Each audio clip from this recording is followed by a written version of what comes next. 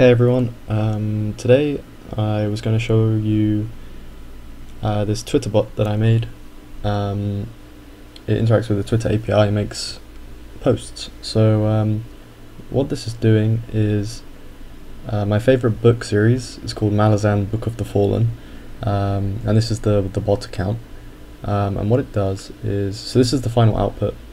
Um, it's putting quotes, famous quotes or the, some of the best quote, quotes from the series and I'm just posting like one a day or something. Um, this is the code. It's very simple. So I just thought I'd talk you through what goes on, and then if you wanted to make your own, you could do that. So um, so yeah, you have when you register a developer account with the Twitter API, you have to do like a very kind of short application just to explain why you're making a bot, why you need um, keys to access the API. Um, so yeah, you've got to do that. Um, maybe I'll put a link in the description um, just some debugging. Um, and then Tweepy is um, a library which is, from what I understand, is a wrapper that goes around the, the official Twitter API. Just makes it easier to use. Um, so that's what Tweepy is.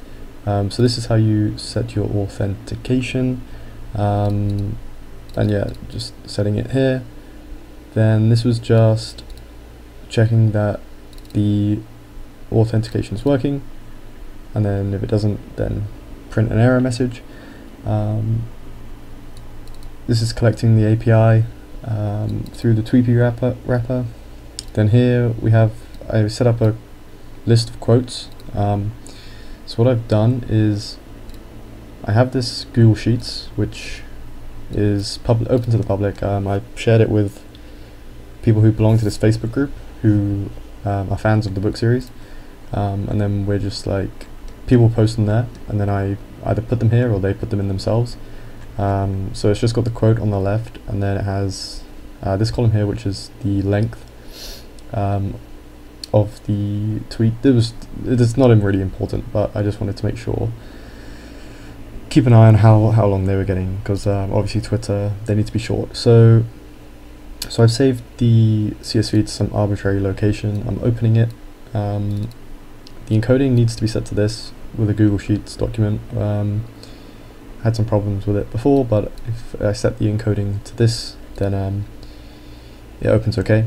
Um, so then I read the file using CSV, the CSV library which I've imported. Um, I think this was my first time using the CSV uh, library, but anyway, I'm just reading it, um, kind of like how I would open no a normal .text file, but um, but yeah. Then I'm looping over every line within every for I'm looping over every line within um, lines like uh, so so lines is a list of every line or every um, row. So yeah I'm just looping through that. Um, I'm just showing this is so for each line within lines um, I'm checking the length of the potential tweet um, and then if the length of that potential tweet is less than 280 which I think is the character limit for Twitter then I'm adding that uh, potential tweet to the quotes list and then um, okay and then I'm going through the entirety of the tweet and I'm replacing because a lot of the quotes are posted with um, enters in to which act as new lines and that was potentially going to cause some interference or some problems so I just replaced all the new lines with spacebars um, again this is one of my first things with like um, actually having a practical use for like replacing um, and spacebar was the best because sometimes there would be like a full stop and then an enter and then it would start a new sentence and when you don't replace with a spacebar it would um, this the grammar would be wrong. So um, space up spacebar seems to be the best replacement.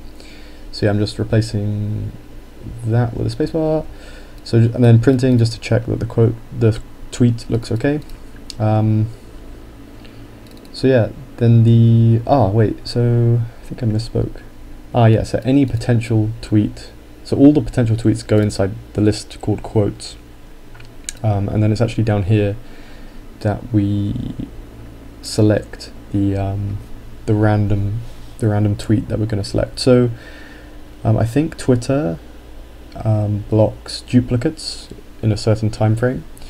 So this is not the most foolproof um, program, but um, but anyway, so the tweet is assigned as whatever the random random number is, which is between zero and the length of quotes. Um, actually, this could be a bug. Just thinking now. Yeah, I think this is length quotes is meant to be length quotes minus one because I think this zero to length quotes would actually go to the number like one over the length of the list, I believe.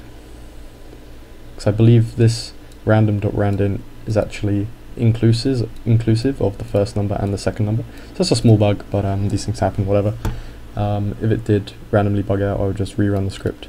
So yeah, it's not super foolproof, but um, given that I've got 60 quotes, it's only going to happen 1 in 60 times, so it's not too bad. And then the list is going to get longer and whatever. But uh, yeah, not uh, not very good, but it's okay.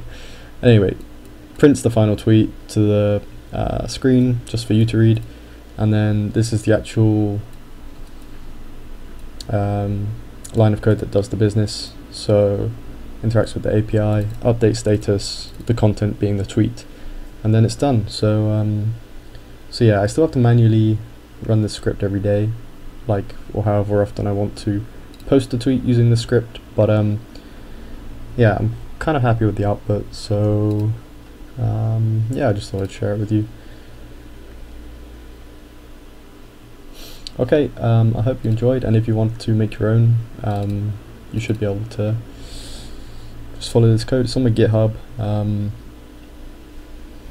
and yeah, um, I'll put a link for the Twitter, where to register, register to make a Twitter developer account. And um, yeah, if you like sort of profound quotes, maybe follow the Twitter bot. It's MalazanQ. And then, yeah, I'll put any other links you might need in the bottom. Alright, see you next time.